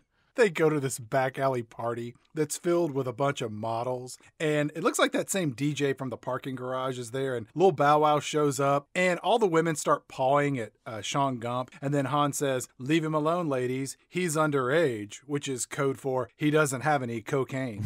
and Han, Han leads Sean Gump to this secret room behind the secret, secret room, which enters into this sprawling garage filled with tricked out streetcars and portable sleeping crates. They're all being occupied by these models. And I'm thinking, are these models really prostitutes? And I think Han is involved in human trafficking. Uh, I don't know that that's off the table here. Uh, you know, Han's got his fingers in a lot of pies. is that what he calls his girls? Yes. his pies. I think that there's a B plot to this movie that is grossly overlooked, dealing with Han and his model prostitutes and their sleep tubes in his garage. So, uh, in in the midst of the, I mean, you're you're not wrong. There is there is work to be done by several like Interpol related agencies. So Han also tells him, "Hey, that red Evo in in the stall next to you is your car now. That's you're gonna learn how to drift." And he's like, That sounds great, but should we do a montage maybe? And Han's like, That's a great idea, Sean Gump. And so, sure enough, we have a montage of uh, Sean Gump learning how to drift, and they're doing it at like this dock where Bow Wow is watching along with Han. And uh, there are two fishermen. They're they're kind of the Statler and Waldorf of this movie Yep. where they just pipe up occasionally and they're like, You call that drifting? He looks like an asshole. Right. It's just this little party where everyone's hanging out, having some beers and, and chit chatting while this dude's learning how to drift race or whatever. I think it's adorable you say that he's learning how to drift race because all he's doing is smashing up another car. Yeah, he still is not good at it. Sean Gump wanders his way back to his father's storage shed home, and Sean Gump sees his father working on the frame of a muscle car. And it's a real, hey, dad, I didn't know you like cars. I like cars too. We're not too different, you and I. And then you're like, ah, this scene don't matter. Let's just move on. Yeah, because his father does not matter at all in this movie.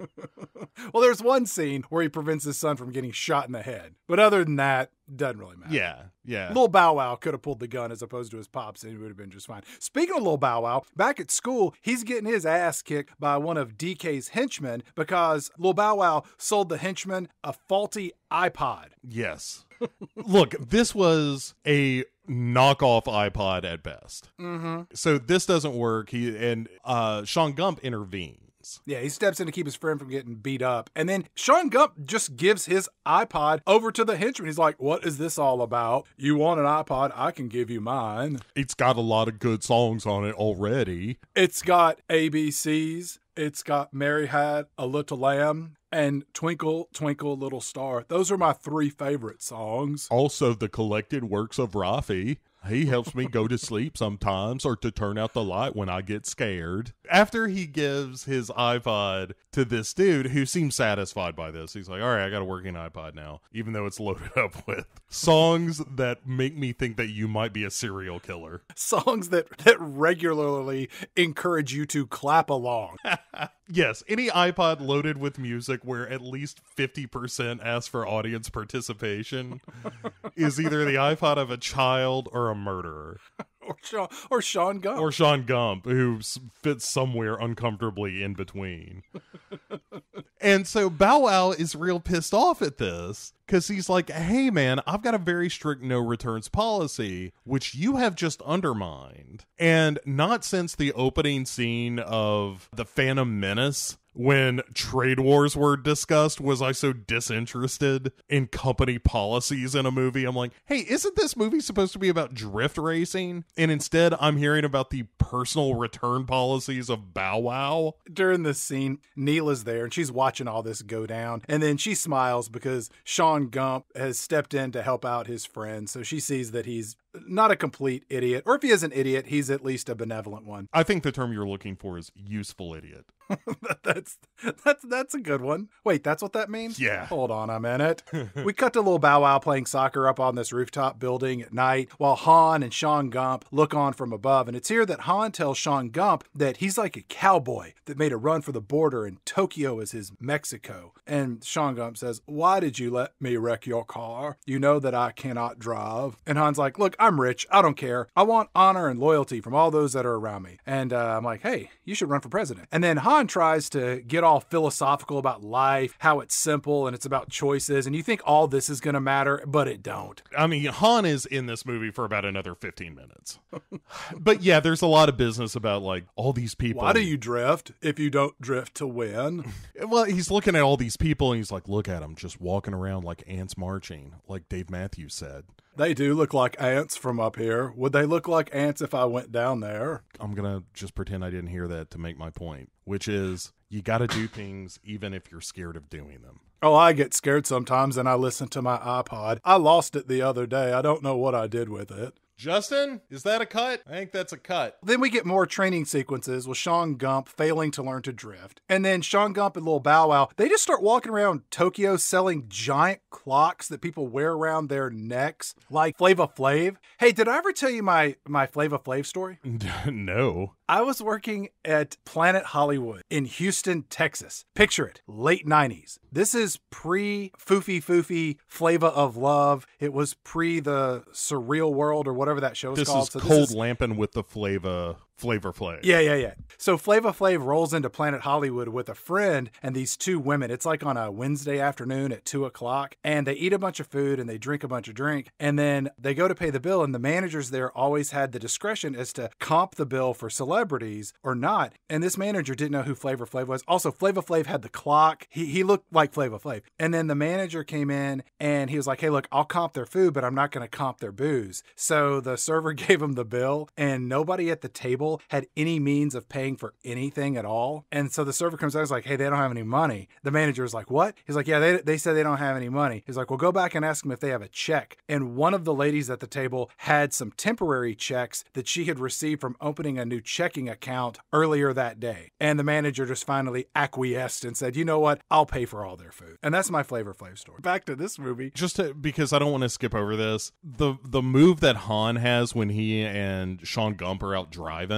where he mm-hmm. does the drift around the car of sexy ladies, to the point that he like impresses them so much with his drifting that they just stick a note with the, their phone number, or I guess one of their phone number maybe, out the mm-hmm. window, and he drifts by and grabs it from her, and it is the smoothest shit if you are into drifting that you will ever see. Yeah, he's going to take that phone number and call those ladies and then eventually have sex with one or both of them, either individually or at the same time. Right. And then they will eventually find themselves far, far away from home, be heroined. Right. Like, in one of his sleep tubes. Yeah, it is- Having sex with Papa Gump or maybe that fat guy from the bathhouse. it, it's the plot of Taken, essentially, only with Han in the villain role. We then cut to Sean Gump and Lil Bow Wow walking around Tokyo, and they're selling these giant clocks uh, to the citizens of the city that you would wear around your neck like Flavor Flav. Lil Bow Wow says, "Man, I'm so good, I could sell rubbers to a monk." Yeah, Like you could tell them they're party balloons. I suppose. But I, I think even monks, like, they have the internet. They know what condoms look like. I guess so. It's because monks are celibate, so Yeah. I don't know. Maybe he's a good salesman. We then see Sean Gump getting the hang of drifting because we've now gone through like four montages. Usually you get the hang of drifting after two montages. Here we're about four. he's whipping around this warehouse district on the crooked streets of mountains up above, and he's really getting the hang of it. And then back at Papa Gump's storage shed, he goes in and he notices that Sean Gump has not been sleeping in his closet cot. And so we come back to Han's garage, and Sean Gump shows up looking for a place to stay. And why did Sean Gump leave his father's storage house with all of its stench of piss bucket and neighbor noodles cooking? I th- I think the implication is this is so poorly edited slash written. I think the implication is he went home and his father booted him out for not being home. I guess I don't know either that or he just decided on his own. They don't really explain it. No, it, it's yeah, it's odd. Yeah. So next we see Sean Gump racing against DK's henchman, the one that was mentioned earlier. Right. And they're going to do the same zip doodle up to the top of the garage that we saw at the start of the film when DK handed Sean Gump's ass to him in the car that Sean Gump destroyed. Yeah, but this time Sean Gump, I know what drifting is. He's actually good at drifting now. And so he ends up winning and the dyed hair flunky of DK is clearly distraught. Like he is beside himself. hmm He does an impression of the comic strip Cathy as he cries. Yes. Ugh. He's like squirting it out. Just, we're old. Man, speaking of old, then we cut to Sean Gump in school. Mhm. And he's apparently getting the hang of things by not paying attention. Right. And instead, i while the teacher is, uh, is is teaching a lesson about, you know, here's how you can understand Japanese, he sends a message somehow to Neela with his screen name Bama Boy, right. which is how come I never see you drift? And it is I letter C letter U. Which I know that's how people text, but ugh. no, that's how he spells. That's right. That is just his familiarity with the alphabet. So Sean Gump and Neela go on a date, and Sean Gump says to her, This food ain't that bad. I didn't even have to put ketchup on it. And Neela tells Sean Gump, Yeah, well, when I was 10, my mom died, and so DK's grandmother took me in when I was a kid. And I'm like, wait a minute, you were raised by DK's grandma? This is some straight up Dickens or Shelley type shit, man. They're brother, sister, kind of, lovers, sort of. She's a child, he's an adult. She's She's my daughter. She's my sister. She's my daughter. Sean Gump says, My mom and dad split up when I was three, and my mom and I moved around a lot, mostly because of me. I'm like, what kind of trouble does a kid get into that requires his whole family to move from one city to the next? Clearly, his entire family has been on the grift for some time. I guess. I mean, look at the mother. Maybe she was the one who really caused them to move and she just blamed him. Like he, you know, he knocks over a glass of milk. Up, oh, that's it. We got to move to a new city. Come on, Shawnee boy, pack up your stuff. Yeah, another midnight move. That that's why you're not educated. Sorry about that, Sean Gump, but we couldn't keep you in a school long enough for you to learn anything. It's all right. I like being able to smell my letters. Sean Gump and uh, Neela, they go up into the mountains, and Neela shows Sean Gump how she can drift. And we get this long sequence of the two of them riding around with like four or five other cars. And there's this moonlit, choreographed automotive ballet where they all drift around the turns of these mountain roads, and it's all elegantly done. It, it would be a nice scene if Sean Gump weren't just such a wet blanket on the affairs. Right. Because as he and Neela are talking, and she's like, Yeah, you know, we used to skip school and come up here and, you know, just drift and let the world, you know, again, the typical Fast and Furious racing as philosophy kind of shit. They're talking about they did this when they first got their driver's license. Yes. Let's assume the age that you get your driver's license is 16. And these two idiots are still in high school. Let's be kind and say they're both 18. So she's being nostalgic about something that happened last year. He is too. He's like, I'll tell you, the day I got my driver's license was the happiest day of my life. And then the day after that, I won my first race. I beat some rich kid by three links and I couldn't have been happier. And you're just like, yeah, that happened what, last Thursday? I think he's referring to the opening scene with that home improvement asshole. Maybe so. Maybe like the scene we didn't see is him getting his license the day before. We have seen the entire racing career of one Sean Gump.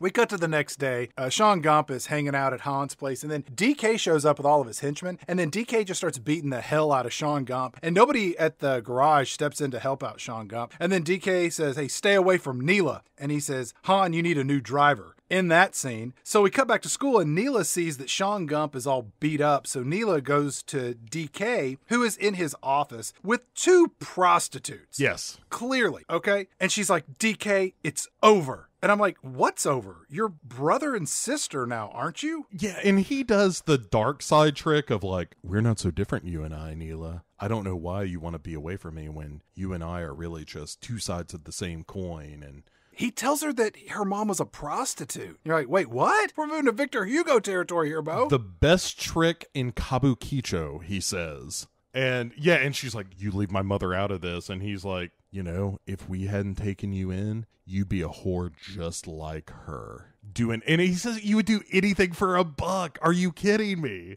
And she kind of gives him some shit right back where she's like, Hey, if it weren't for your uncle, you wouldn't be anything. Like, your uncle is the one who has the power. You're not shit.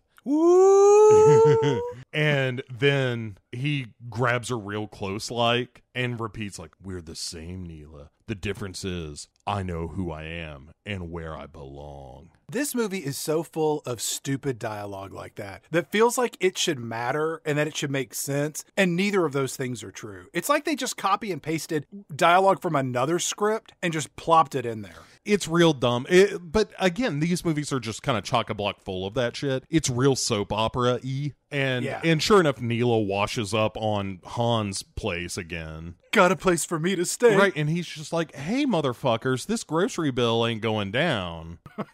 the more of yous that show up and want to drink all my beer, like, hey, look, Han wants to have a good time as much as anybody, but how about we handle shit? But anyway, of course she can stay there. They got a whore tube she can sleep in, you know? Let me tell you about your new career, Neela.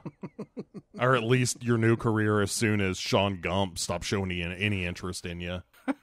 That's dark. That's a little dark. Back at DK's place, his uncle, the Godfather, shows up. But how do I know he's the Godfather? Because he's wearing a white suit and a white fedora and a white vest and a white tie, and he's got a cane. He looks just like the Godfather in What was that other movie? Every other movie, Yeah, that was the one I was thinking about. he is dressed exactly like the dude at the beginning of Indiana Jones and the Temple of Doom who has the antidote. He looks exactly like him, except in this case, it's, uh, of course, Sonny Chiba, and he is, you know, asking to look at DK's books. And, you know, he's like, you know, I look over this stuff and I just wonder. How are you so fucking stupid, DK? DK's like, oh? And he's like, "How- how can you not tell that you are getting ripped off by this dude, Han? And DK is like, oh, well, it couldn't have been much. And Sonny Chiba, as the godfather, is like, you know, there's an old saying for want of a nail, the horseshoe was lost. For want of a horseshoe, the steed was lost. For want of a steed, the message was not delivered. And for want of an undelivered message, the war was lost.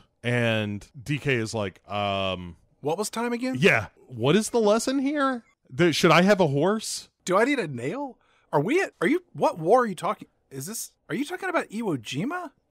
Grandpa, uncle? once again, DK is shamed and humiliated by his uncle Kamata, and he is feeling especially hurt by this. And so we know that bad shit is about to go down. Yeah, let's get to it. Yeah. DK and his crew show up at Han's garage. DK gets out, and everybody thinks that DK's there to get Neela back, but instead, DK goes over and just starts beating up Han. Then Neela appears. That makes things worse. So DK pulls a gun on Han, which is surprisingly the first gun you see in this movie. So Lil Bow Wow runs off, and I was thinking maybe he's going to go get those magic Michael Jordan sneakers, but he doesn't. He just causes a distraction by smacking one of the garage doors to close. And then Han runs off, and everybody gets away, and they all jump in their cars, and we get a big race sequence. Yes. Again, this is kind of where the, the movie sort of shines. There's some good wrecking here of some just good old fashioned cars hitting shit that I, I quite enjoy. I found this race sequence kind of boring and repetitive. It was all race, race, gear shift, whip, whip, zip, zoom, squeal, speedometer, side swipe, near miss, tachometer. Yeah, it goes on for a little too long, but you've got like the thing where DK flips his car around and is shooting at Han through the window in reverse. There's a big pileup after that. And there, so there's some, I would argue, cool shit that happens in this sequence. There's some terribly irresponsible shit that happens in this sequence. I'm specifically citing the fact that Sean Gump, as Neela sits shotgun in his car, decides to drive through a crowded intersection of Tokyo. This place looks like Times Square on New Year's Eve. There is not room for people to move, and this dum dum just decides he's gonna drift through this sea of people. What ultimately happens is as they're like racing through these crowded city streets, Han gets T-boned, which sends his car flying into the intersection. It flips over. Sean Gump sees that he's alive inside the car.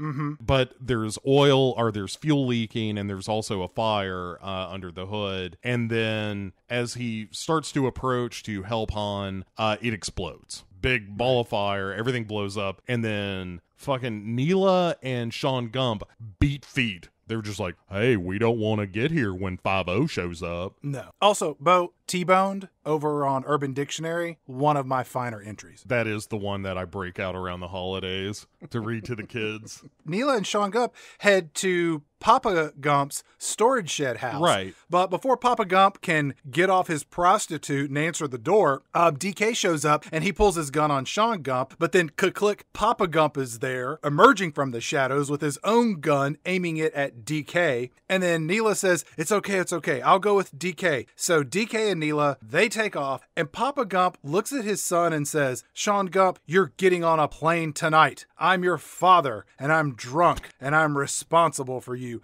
And it's here that Sean Gump says, I'm responsible for my mess, Daddy. Did you watch the news tonight and hear about that fatal car crash downtown? That was because of me. I did that. I am not a good driver. I get hurt. I hurt people with my driving, and I cannot see too good. I have cataracts, and my hands are numb a lot, and it's hard for me to hold the wheel when I drive. I think I'm colorblind, and I cannot read. I have no sense of direction, and it confuses me the way gravity works. How I got my driver's license is beyond me. Mom took the instructor into the back room for half an hour, and the next thing you know, I have a driver's license.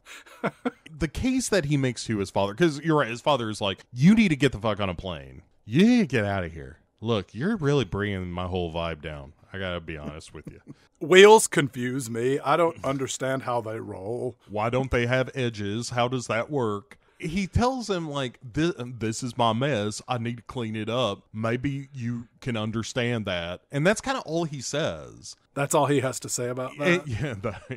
Papa Gump looks at him like meaningfully for a second and then just kind of slowly nods like, "I think I understand you now." It's like, "What are you doing?" He didn't say anything in defense of what's happened. No, he caps it off by saying, At least you're not redoing my mistakes. Yeah, What does that mean? I'm interested in your dad's mistakes. If they're more grandiose than your fuck ups, at least you're not drunk when you said it. Sean Gump goes to see Lil Bow Wow, and Sean Gump says he's gonna go see The Godfather to end all this. And Lil Bow Wow gives Sean Gump a backpack filled with cash that belonged to Han. Right. Don't ask. I, I guess, and the idea is like, okay, well, if Han was skimming, let's clear the air. I'll just give the the Disco Godfather so, this money, and the air is clear. Right. And there is an hilarious moment where, unironically, Sean Gump, as he's talking to Bow Wow, whose name is Twinkie in this movie, says, "Man, I just don't know sometimes, Twink. Look." I'm only a man, and somebody, a man referring to another smaller man as twink, it makes me laugh. Well, you're not watching the right online videos. I see that all the time. I, you're probably right. So yeah, Bow Wow has this backpack of money that he stashed in his Hulk car, and off Sean Gump goes through a bunch of yakuza thugs on his mm-hmm. way to talk to the Disco Godfather, and he is allowed in once some of the older heavies are like, "Well, he's got a backpack full of money. Maybe he he's good for something."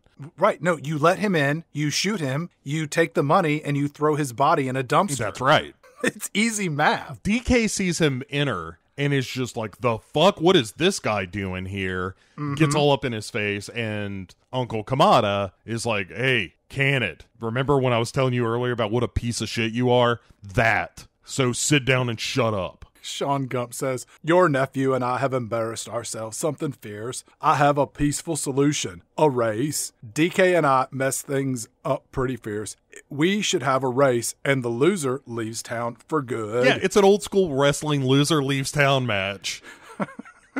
this is so stupid. Yeah, it. Oh man, again, I can't tell you how delightfully surprised I was by how dumb this movie is. Even in the context of this ding dong movie, this moment feels completely ridiculous. It would be like, I mean, truly, if he said, like, we should have a thumb wrestling match, like, what are you talking about? And you leave town? It, it's the same reason that you save the rec center by having the big ski race. All it is right. that shit. It is no better and no worse. It just feels like it ought to be better in a movie like this, Mm-hmm. but it's not. It's just uh, like we're gonna have a stupid race to uh, determine the fate of your nephew, who may get banned from Tokyo. So if he shows up, what you're gonna kill him? At this point, the Godfather pulls out a gun and shoots Sean Gump in the head, and the credits roll. They split up the backpack of money and order some delivery. They get whores and gin, and they just spend the rest of their evening getting high and getting laid. Yeah. That's not what happens. The Godfather says, Hey, that sounds like a great idea. Let's have a race.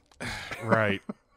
So then the the kids all go to the rec center, aka the Hans, Han's Yeah. garage. It's taped up with do not cross police tape. This is a crime scene from an investigation. Remember when there were dead bodies burning in downtown Tokyo? And this group of ding dongs just sort of dosey do their way in there and they're like, we need to get a car. And all the cars are gone because the cops took them. But in the back alley, there's that first car that he destroyed that has some pieces and parts. So Sean Gump gets a bright idea and he goes back to see his dad. And the car that his dad is working on, they're going to marry these two together and create a souped up Ford Mustang that our hero Sean Gump can race against our enemy DK. Yes. East meets West and in the battles for all times. You know, he takes his new kind of muscle car out for a test spin, but uh, he fucks it all up and because he's not a very good driver. What?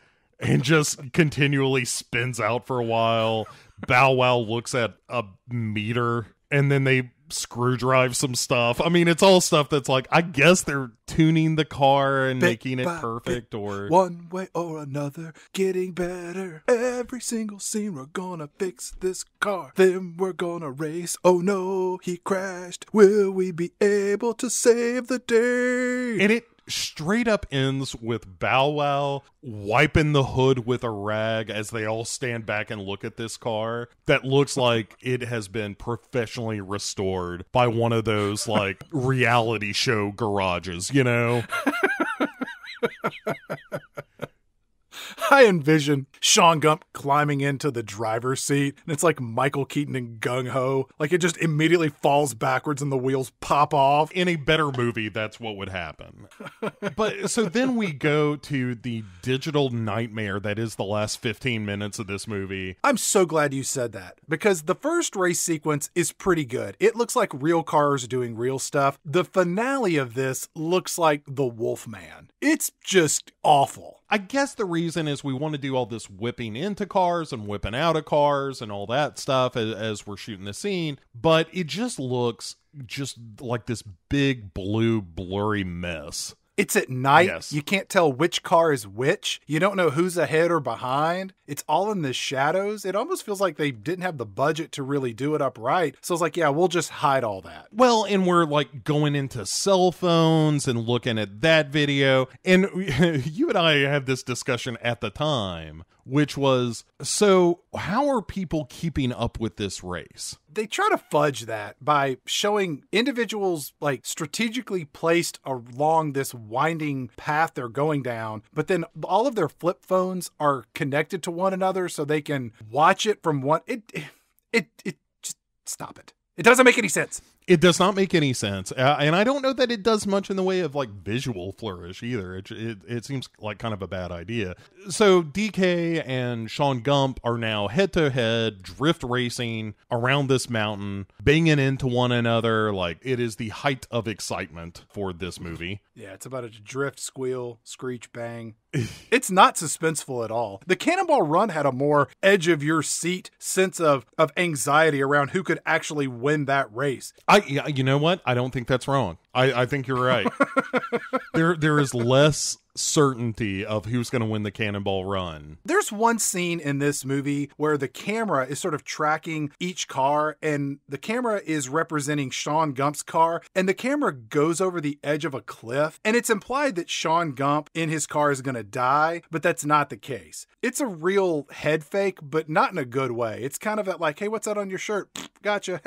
DK ultimately, like he's he's doing a little rubbing his racing business. mm-hmm. Ends up going over one of the embankments, so he flips his car down. But as it falls, it almost hits Sean Gump's car, but he gets around it and then he wins like two seconds later. I guess. Neela runs over to Sean Gump, and so she's Team Sean Gump now. The Godfather, who's been there watching this, is he just at the finish line? Like they're at the top of the mountain. I'll wait here and see who comes across Yeah, first. yeah. I'm not gonna do all this bullshit of trying to follow this race or be there when it starts. I, the only thing I care about is who wins. The Godfather comes over to Sean Gump and he says, You're free to go, which is code for I'm going to murder you and your family and all of your friends. I'm going to burn down your house, all the houses around your house. I want everyone to know who runs this town. There is no way you are going to live to see the sun come up in the morning. I want him dead. I want his family dead. I want his house burned to the ground. We cut back to the parking garage, nightclub, strip club from the very beginning of this movie. And Lil Bow Wow comes over to Sean Gump and he says, Hey, somebody wants to race you. yeah. oh boy, this is a real capper. Yeah, so Sean Gump is is flirting with Neela. Bow Wow says, "Yeah, this guy said Han was family." And Sean Gump then gets in his car and pulls up beside none other than one Vincent Diesel. Um, I don't know if that's his real name. How is he in movies? I don't know, man. How did he, for showing up in this thing, get the rights to a franchise? I don't know. But I guess because they were like, "Oh, who? No one's going to see this fucking Riddick shit. Uh, give him whatever. Tell him he can have Clifford too. They pull up beside each other and they flirt a little bit about, you know, American muscle and shit. And Sean Gump is like, you know, this isn't just some 10 second race. And Vin Diesel says, I got nothing but time, kid. And then they race and they just take off. We don't like see the outcome of the race or anything. We just see the fact that Vin Diesel is uh, putting his stamp oh Fast and Furious approval on this movie of just like, hey, that's it, kids. Hope everyone had a good time. And then you get a little closing dialogue that's like, hey, assholes who watch this movie, remember, these are all stunt people. Don't try to do this with your cars, dipshits. Duh. And end of movie. This movie is just head scratchingly odd. It's a real weirdo of a movie. Like, it's got to say a challenging main character is underselling it. Like, Lucas Black, I'm sure, is a fine person, but he is not a very good actor, and him carrying this movie on his back is just a thing that doesn't really happen. Now, you mentioned Channing Tatum tried out for this role. He would have been really good in it. He might have been too big for this movie. Maybe not at the time, but he would have been fine. He would have been fucking great. But yeah, it is the worst. In the grand scheme of things, because I've seen all these Fast and Furious movies now, I don't think it's the worst of those, but it Really? Then what is? Ah, man, that eighth one is real bad. That last one where Charlize Theron shows up, uh-huh. that's a real stinkeroo. Worse than this. Yes. I'm going to take your word for that. Because it's about 40 minutes longer and way less interesting. Ugh. Yeah. Yeah, I don't know. Where, where, where do you come down on this? Like, would you ever recommend this to someone? No, of course I would not. I wouldn't recommend any of the movies we discuss on this show to anybody, ever. Not really. We watch garbage. That's what we do. Yeah. You can't make fun of good movies. You and I have accidentally stepped on a good movie, you know? Superstar was one we liked. We're like, what are we doing watching this? We should be watching crap. Yeah. This is an entertaining film. we watched Home Alone. You know, even then we were kind of pointing out the notes that weren't played as opposed to the ones that were. Yeah. Yeah. I know I think you're right. Yeah, but this movie in particular is uh is kind of a bummer. It's almost a you should watch the first like 20 minutes of it because then you'll know everything you need to know about this movie and uh, dare I say it this franchise. Mm-hmm. But just for the the bonkers belief that Lucas Black was somehow going to be a star and and seeing him in this movie especially that first race sequence like watch this movie up to the point he gets sent to tokyo and it's that's all you need to see Yeah, you don't need to see anything else. Yeah. other than that. You know what you should do after you do Oh, that? what? You should go and watch the original Gone in 60 Seconds, circa 1974, which is the inspiration for episode three of this season, Hot Wheels, mm-hmm. because that movie is incredibly good, filled with thoroughly irresponsible filmmaking, but not the kind that we've discussed in this episode. It's really good, irresponsible filmmaking. Then, after you watch that, you can go watch the remake with Angelina Jolie and Nicolas Cage and a whole bunch of other people, because that's what's coming up on the next episode the remake of Gone in 60 Seconds. i can't wait that sounds uh delightful Have you done your homework and watched the original, Bo? i've i've started the original i didn't get all the way through it i fell asleep You got well, you know what? All you need to really watch in the original is the last 40 minutes. Now, I know for those of you who haven't seen it and when you turn it on, you're going to think, "Is this a porno?" And the answer is no, but it should have been. But when you watch a 40 minute long car chase sequence that is completely void of any sense of human safety or or public responsibility as it comes to filmmaking, it doesn't get any better. I tell you what gets a lot worse is the remake, and that's what we'll be talking about. yeah that's not a very good movie That's see, that's what we do here. Yeah, you're right. You're right. I just every now and again, I, I look over the horizon to see the the valley beyond filled with good movies running free, and I think, boy, it'd be fun to be there every now and again. That's not where we swim. We're over here in the dirty part of the pool. Yeah, the filthy, stench-ridden cinematic sludge. That's us. The filters don't work, and uh, people are, are pissing off the diving board in the area that we like to splash around in. So come back and see us in two weeks' time. As always, like, rate, review. Send us a comment. Send us an email, pick6movies at gmail.com. Tell a friend as we continue this season Hot Wheels with six movies all inspired by automotive fast racing, high speed, um, Shenanigans? sure, that's what you could call it if you want. Or shit. I'd prefer that. Yeah, that's probably more accurate. Two weeks, we'll be back.